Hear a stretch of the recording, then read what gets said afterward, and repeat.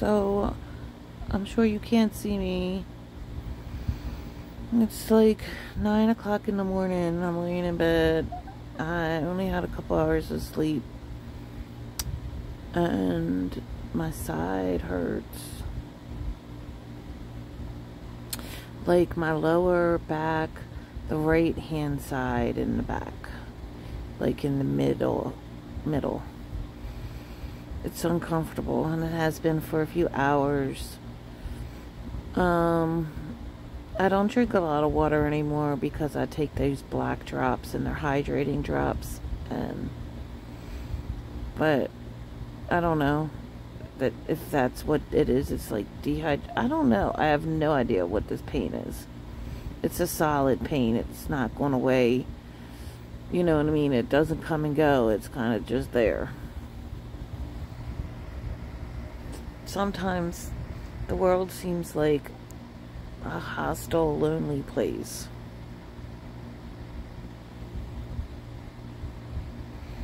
And my twin flame Steven seems like a hostile, mean person.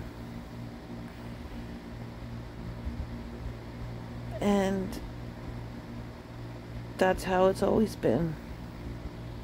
I always lose people. I'm not saying I lose, I mean, I guess he'll come back. And I mean, I guess he'll come back the person that he sometimes is. And he blames me. He likes to, that's what he does. He changed on me. We were supposed to, I think it started on our phone call Friday. Because because I was on the phone with him Friday afternoon and I went to the state police barracks to get a tag light inspected for a repair order and the cop there was a fucking mean maniac. He was horrible, beyond horrible. He was crazed, really. And I was on the phone with Steven and Steven was dumb. He told me, just be quiet, don't say anything, don't say. He just, to me, he was terrible. He didn't say, go on your Facebook Live or start recording it. He wasn't supportive. He was coming against me. Told me to just be quiet.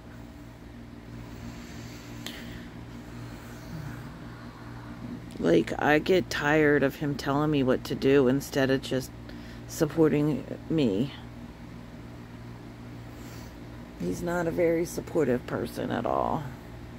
And he always tells me how everybody loves him. What is that supposed to tell me?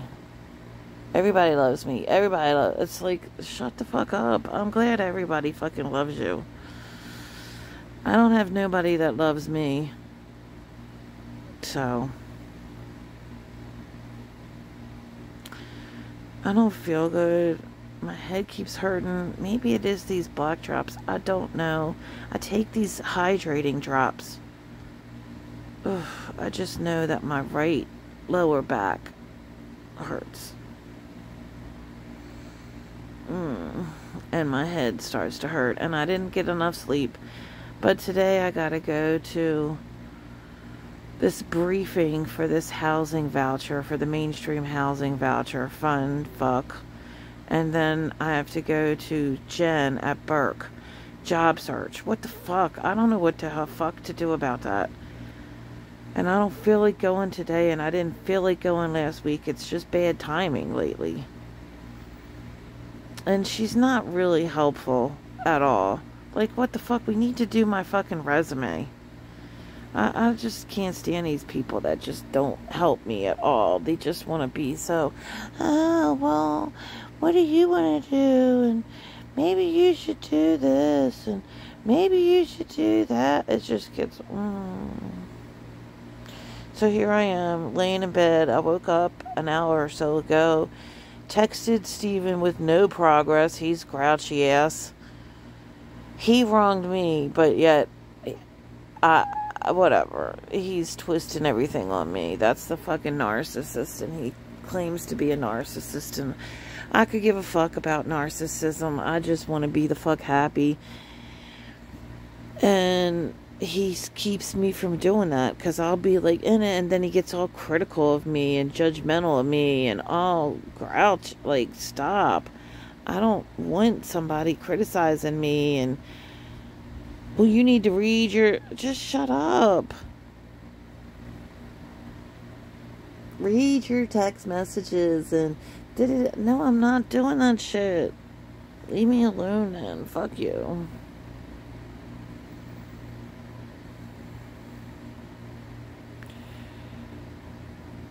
So I guess I can't fuck with him. He's just in and out of my life. He comes, and then so is Bonnie. I guess she's out of my life for good. She was my friend. I love how people say mental illness and shake their finger and I, am beautiful. I'm wonderful. I'm amazing. If you don't like me, then stay out of my life. Don't talk to me. Block me. Don't don't respond to my text messages. So, I don't know. I just, I'm hungry, I'm tired, and I don't know why I did this video. Because it's part of my vlog.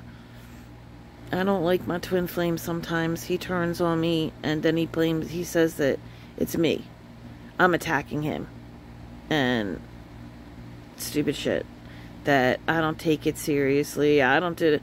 He is so focused on me. Oh. So, whatever. He can just change plans with me and he can just not answer my call and he can just be mean to me and that's okay whatever he does, he's just loved and wonderful. And me, I gotta over, I gotta reread my text message, and I got to, you know, take things seriously, and I got just fuck off, man. Just fuck the fuck the fuck off. So I don't care that I don't have no friends. I have Sharice. That's all I need. I have whatever I need. My higher power supplies my need. My my higher power takes care of me. So my higher power is going to have to take care of this day and this lower back and any hydrating concerns.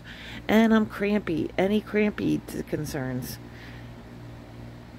Because I approve of myself. Mm, yeah, I do. I approve of myself. My opinion's the only one that matters. you ain't getting me to turn on myself. No, no, no, no, no, no. Mm-mm. You ain't getting me insecure. So I told my twin flame that I might deny him access sometimes to me. I won't be available to him all the time. And and I might hang up on him if his energy ain't right. And I want to keep that. I want to focus on that. If his energy ain't right, I gotta treat him like I would a dry a rider. Which, how you do that? I need the. I want the ride. So am I supposed to just cancel the ride or just endure? mm. Anyway, yeah, I guess it's just shut the hell up and endure it. what do you do with people when they're irky? Oh, it's just simple. You just turn them off, cut them to the curb. Okay, well that ain't reality.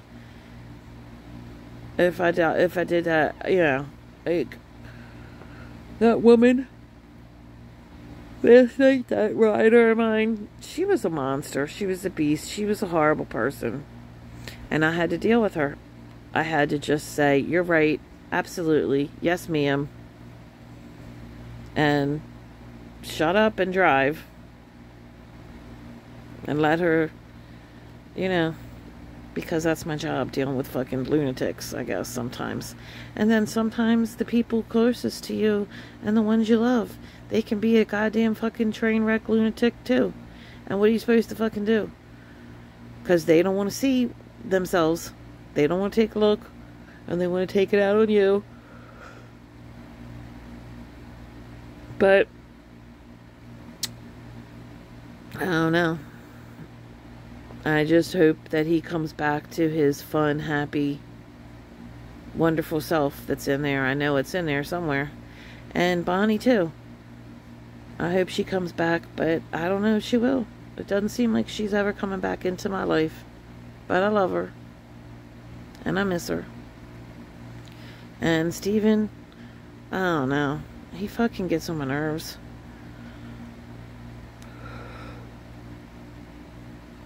But I just want to be happy. So I got two appointments today, and I don't really want either one of them. But I gotta do what I gotta do.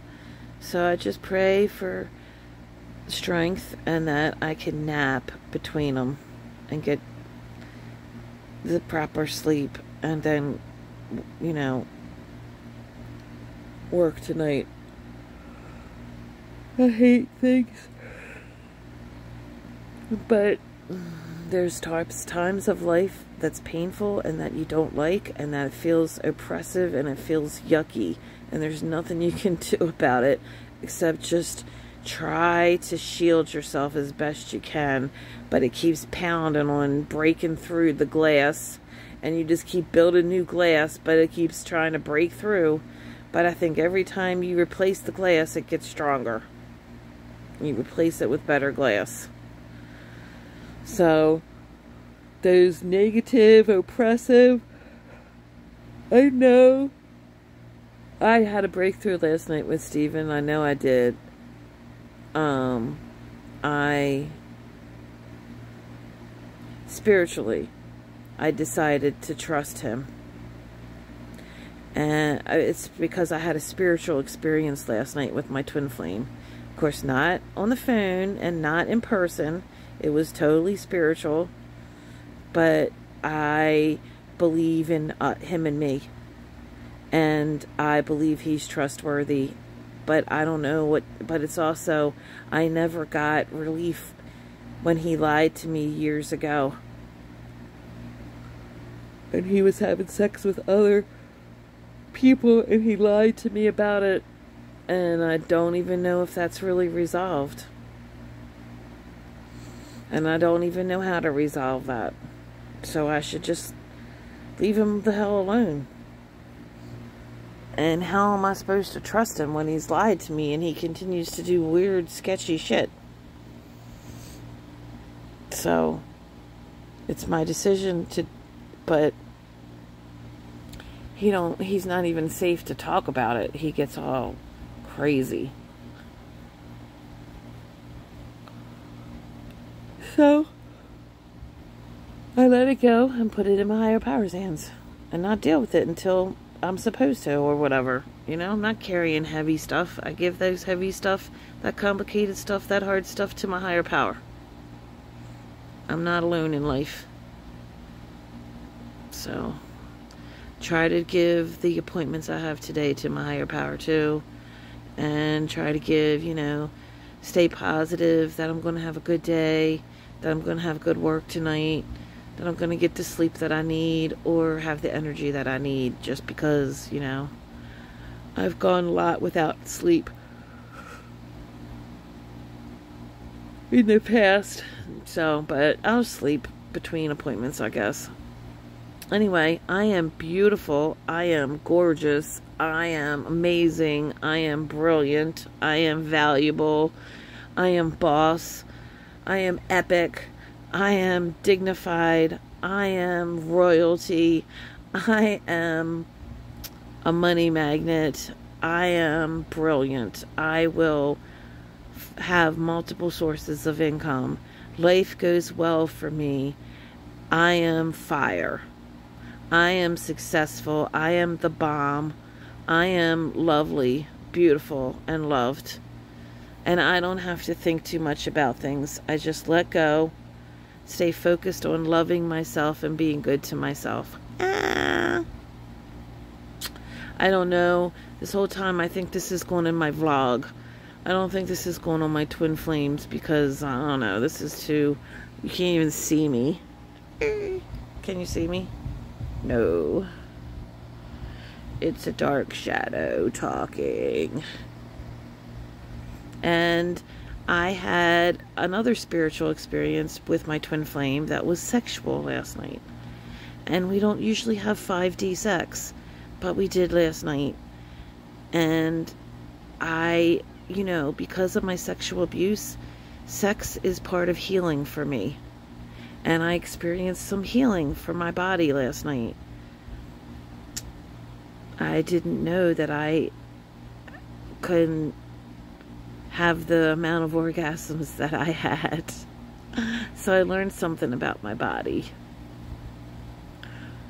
And like I said, I don't understand how do you trust somebody that lies to you? Because he's not trying to hurt me. It's a wound or something.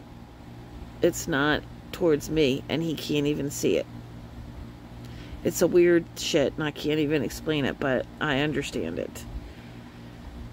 You gotta let some things go. We are really wound up people. We are really fucked up people. We are really traumatized and wounded people.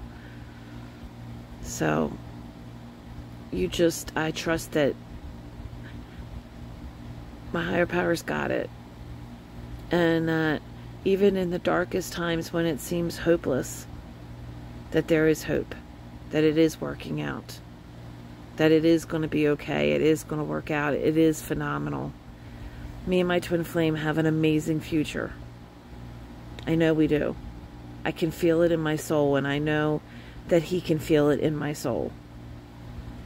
I actually, I just remembered that I knew we were going to text this morning. And I guess I texted him first. But I kind of forgot about that when I woke up. But I went to bed last night knowing we were going to talk first thing this morning. But I, not that I knew it, but I felt like something told me that. Like spirit told me that. That there's been a change in me that spirit deposited and that Steven would know it right away and that we would talk in the morning. So I know he loves me despite how he acts towards me. I know that I'm the best thing that's ever happened to him. And I know that we are totally connected and totally perfect for each other, even though it doesn't seem like that. And I know that he totally loves me, even though it doesn't seem like that. Because Spirit showed me that. And I trust that, and I believe that. And now he can feel that there's been a shift in me. And I'm irresistible to him, and I'm adorable to him, and he I know it. Um, whether he, you know what I mean? So it's a shift. So this is going in my vlog. It kind of should go in my Twin Flame um, channel, but it's too much for me to. I'll talk about that when I look better and I can talk and express things better. Um, but there's been a major breakthrough, and I'm grateful for it and um, I won't stress and work so hard. The same thing with the with the with the employment um, consultant appointment tonight. I'll just kind of I don't know what else to do besides lift. And I don't have I'm 54 years old. I have no retirement whatsoever. So somehow I'm going to have to have a lot of money a lot of opportunity. so I'm not overthinking it and I'm not going to get negative. Uh, I trust and believe that, you know, I will have other sources of income. So, you know, believing in some yourself is first. So the spiritual is first and then the physical comes. So there's my faith is increased. My faith is is getting more. So, I believe in myself and I don't have to overthink that. I believe in my twin flame and I believe in my financial future. So, yay. And um, yeah, it's not always rainbows and sunshine. I get itch. My body gets really itchy. I'm really sensitive. My skin is really sensitive. And I get kind of ir- irky and grouchy at times. I mean, I'm a whole, you know, variety. And I'm going to love the darkness and the light. I'm going to love the good and the bad. And I'm going to take it all with a grain of salt and take it easy and take it light. So, mwah, I love you. I approve of you. I bless you. And um, I'm talking to myself there. You have to do all that for yourself. So, mwah.